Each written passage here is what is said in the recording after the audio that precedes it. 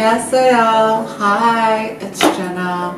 I'm here in Korea for a follow-up after my double jaw surgery and I just wanted to say that I'm really thankful to Dr. Park.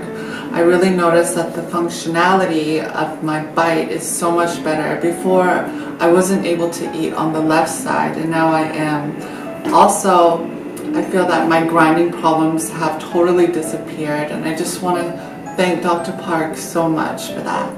One thing I really wanted to mention was that I know a lot of people I talk to are really scared about going through with two jaw like I was.